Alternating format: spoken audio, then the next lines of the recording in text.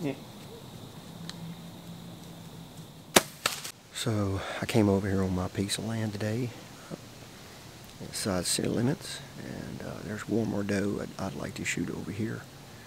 This location and another location uh, where I hunted Thanksgiving. I would like to take a doe over there, but we're trying to get at least one more before I turn it over to strictly uh, buck hunting from this point on because we're getting pretty close to the rut, little pre-rut maybe going on.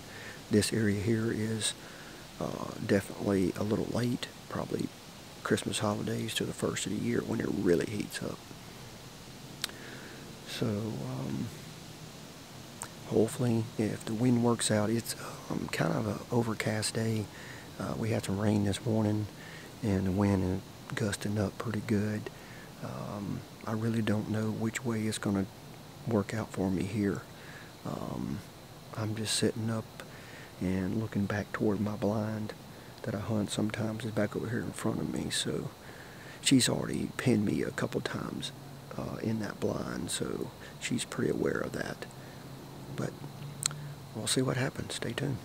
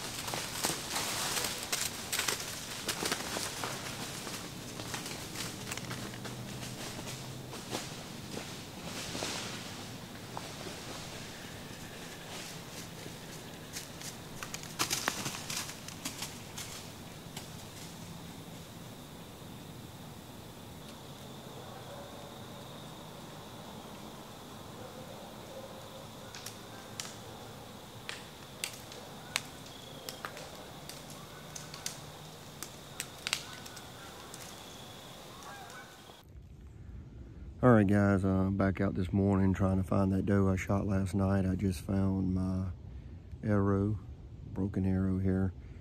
So I got about half an arrow in her, looks like a penetration. I'm gonna get back out to where we stopped last night and then go in direction of where I thought she ran to. So see what we can find. Well, um, still have not found her. I just walked up on a group of does right here. All right, I'll keep trying.